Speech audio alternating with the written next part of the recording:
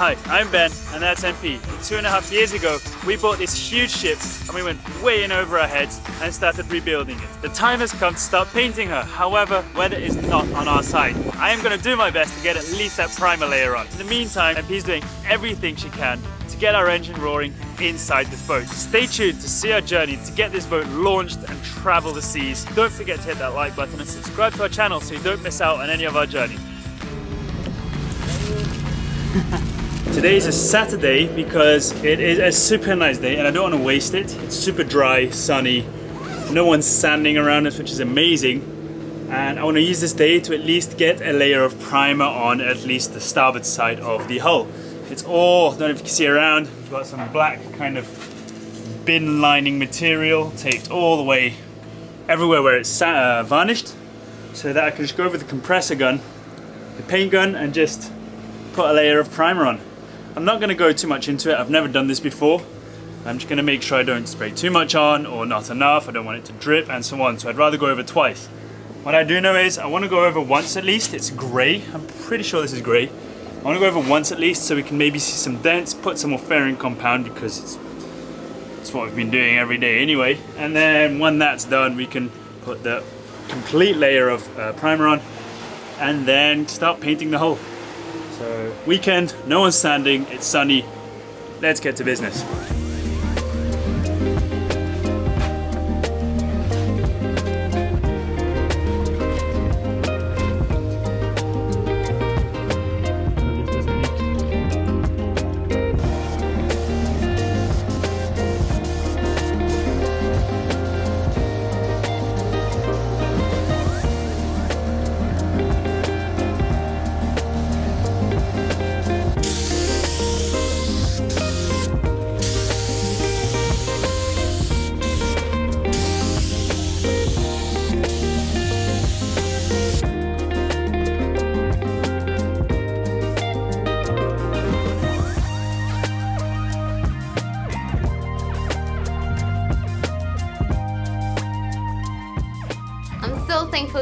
For coming on a Saturday and adding the first layer of the primer because it was a very beautiful sunny day and also because no one else around him was sanding or anything so that was great.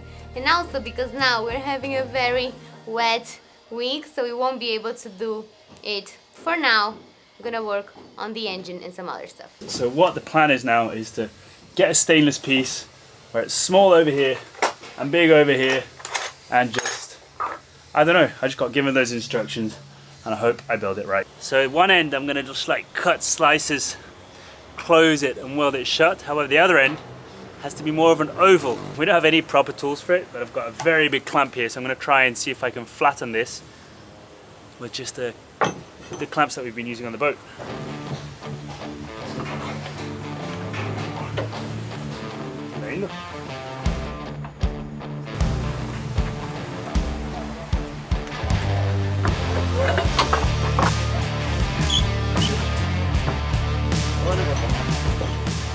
Logically, I thought the first step would be to just take a piece of plywood, place it down there and draw the beginnings and the ends, the outsides and the insides of all the components of that turbo and the other parts. And I brought that over onto here. We've already got this huge tube which we're going to use, which has been squished the size I want. That's going to be the bit that goes here.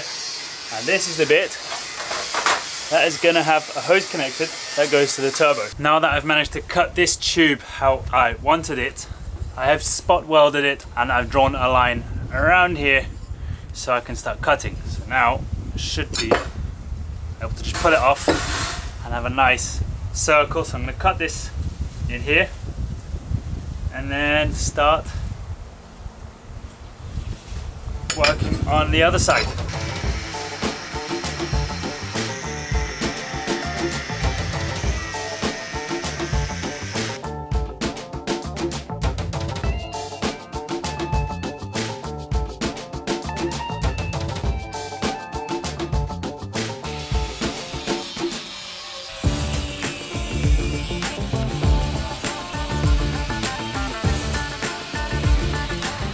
This is now all spot welded in place. The cutting was a mess and a lot harder than I thought. This is the size of the output of the turbo. This is gonna go from this size to this size. So I'm gonna have to shrink this somehow. And I think by cutting lots of like triangles out of this, I can then hammer this closed and make it fit a lot smaller. So I'm gonna just cut bit by bit. It's gonna take a while and it's gonna take a while. And that's all I have to say about that.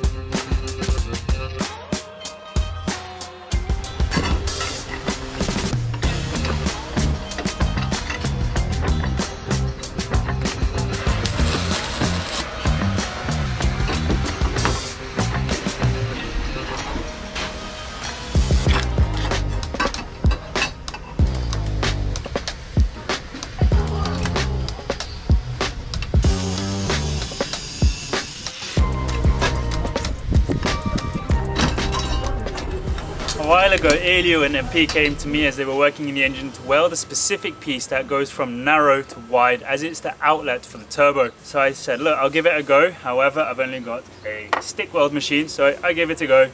Lots and lots and lots of cuts were made and lots of adjustments were made and lots of welds over welds, grinded welds and re-welds were made for it to become a piece that I like to call Frankenstein. It's looking better than Frankenstein now because I've got a grinder to it, but if you look at the back of it, it looks like it's been made by someone who's just learned to weld. But I can almost guarantee you that it's smoke proof, waterproof if you need to, but it's smoke proof, and that it can go on the engine. And I'm now making it pretty. I'm giving Frankenstein a makeover, and it's taking forever. But hey, it's functional and ugly.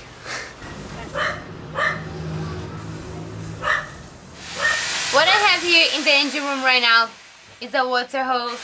It could be something very boring because it's just a water hose, but what we are about to do is something very exciting.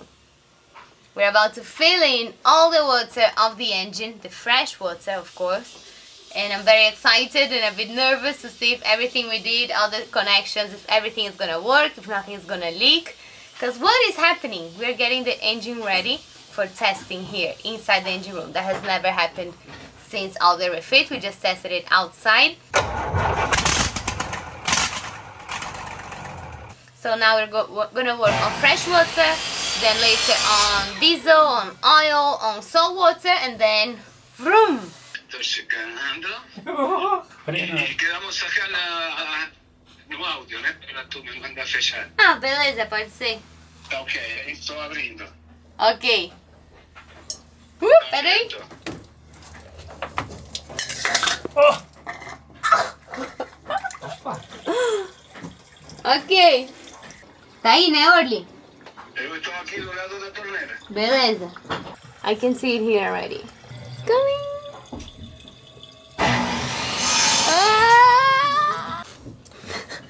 We don't have water coming out anymore because we have four hoses connected to each other in order to reach from the tap all the way inside the engine room. So probably one of the connections came loose because we don't have water and I am with my dad on the phone on loudspeakers and he promised me that he didn't shut the tap so uh, I wasn't filming that.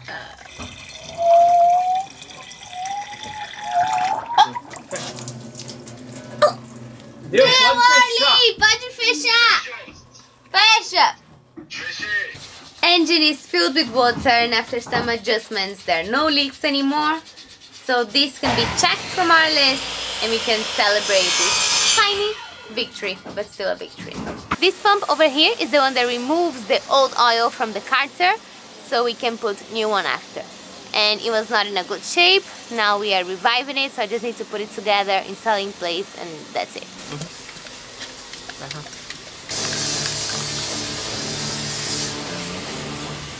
point.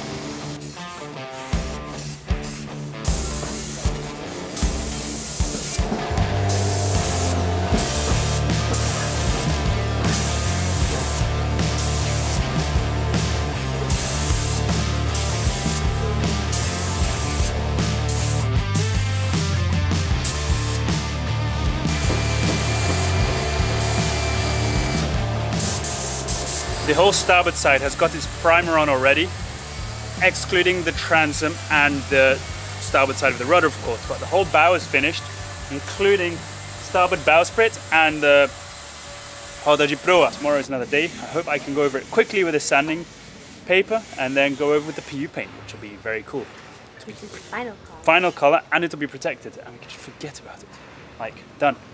You know, one thing off the list, never to be done again until we lift the boat again. Can you guess what this pump is about just by the color? Because of our color scheme. So in case I ever forget, the colors really help me. It's red, which means it's lubricant oil. It's gonna come here, in this support we have over here, and it's the pump we're gonna use to empty the old oil from the carter out whenever we need to change it, just by pumping. It's a manual pump.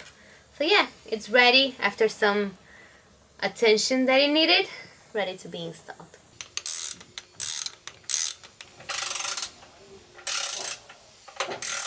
And if I need to empty, that's how it goes. But now it's empty already, so we cannot really test the function. Because now what we're gonna do is fill it back up. You ready? We're not gonna make a mess, you left it already. Rest on here. It's gonna make a mess. Okay, ready? Don't spill. I'm very focused. In. Time of truth.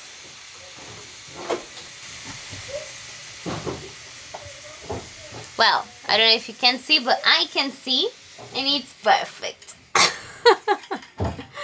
oh, it's good. Another step closer to starting this beast up.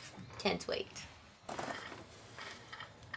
You see the gearbox has some red spots, it means it needs oil. It's not the same oil that in the engine, it's a different one because of the thickness and some specifications. I don't really understand about oils, but this is the one that's recommended for the gearbox, so I just trust and I do it. It's time to fill this up. The tag here says 5 liters. This is 5 liters, so let's do the whole thing.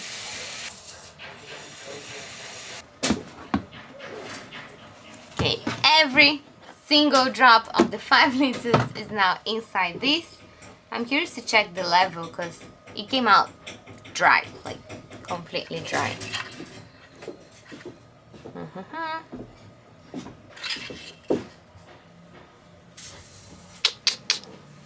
It's, I think, a millimeter above. I was expecting that because it was completely dry. Now it needs to, you know, flow a bit inside. But this has oil, the engine has oil, the engine has water. We're really, really this close to starting. What we need to work now is here on the turbo, on the exhaust, and then we can start it because I really don't want the smoke to stay inside. So I don't want to test it until we can put all the smoke out. And yeah, another check of the list. This entire starboard side is now covered in primer. Been sanded down lightly just so it's a rough surface for the PU paint to adhere to, cohere, anyway, stick to. I've no one in the shipyard is sanding. I've also told everyone around, or as many people as possible, that I'm going to be sanding, uh, painting. So just for a second, try and keep the sanding down. Uh, yeah, this stuff should dry really fast in this temperature. So yeah, went from white to gray, and now the next color is going to be, we'll see.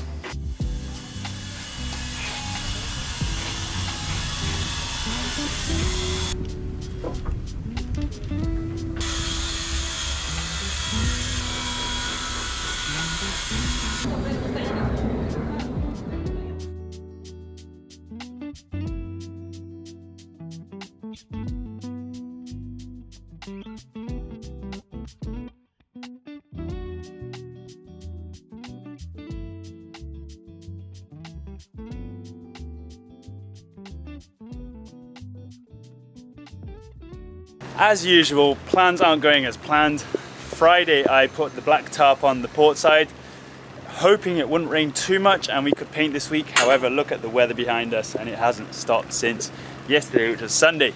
Uh, I even chucked the white tarp over, hoping I could keep it dry a little bit in case I wanted to do some more sanding and stuff, but oh well. Rain it is this week, the entire week, so we're going to do interior stuff. I hope we can get the table finished. We just need the leg for it, the leg of the table or two legs that raise it and drop it. For that we just have to find the minimum size and the maximum, the minimum height and the maximum height. We're looking all over for those materials, how it fastens and stuff like that. But hopefully we can get that finished. Varnishing isn't ideal, but we'll see what happens with the weather. And we'll try and get a bunch of other stuff done inside the boat now because like you see, I've even chucked a top over there because rain does come through the side and we don't have any blinds or anything yet. So uh, this week is going to be one of those weeks where you just see what you can do until the rain stops. And then we can finish the roof here. This is all fed, as in the fiberglass has been fed. Now we need the fairing compound on top to just remove the little bubbles and then paint it. And we can move over to that roof. But yeah, this week, like I said, let's play by ear, see what happens day by day, what has to be done on the boat. Uh, we want to start electrics ASAP, however, we want to start electrics and finish electrics. We don't want to like start electrics, then move over to something else and come back. So until then, we'll fill up our schedule with other stuff. This part attaches to the turbo. Uh, the outlet of the exhaust fumes goes through here, up, over here, and out that end to the exhaust pipe. Here there is an inlet of the saltwater outlet that comes from the saltwater cooling system in the boat, goes through here and out through the exhaust pipe again. The reason this kind of, uh, what's it? Anyway, the name, such a simple name anyway, goes up and down it's so that the water doesn't return into the turbo. We're about to install this. It's been shortened on this end just because for some reason it didn't fit in the place it used to fit and we didn't change anything there. Uh, so now I'm just giving it a clean with a steel brush on a drill so that later we can have it wrapped up again properly and attach it to the engine. Let's go.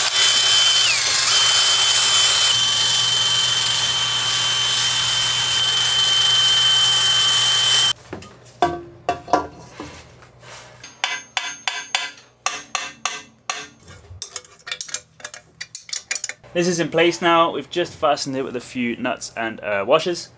It has been lowered, so this bit has been cut seven centimeters lower so it fits under the roof beams, but not only that, or the deck beams, but it gives it a little space. It is going to be isolated, so we should even be able to touch this with bare hands.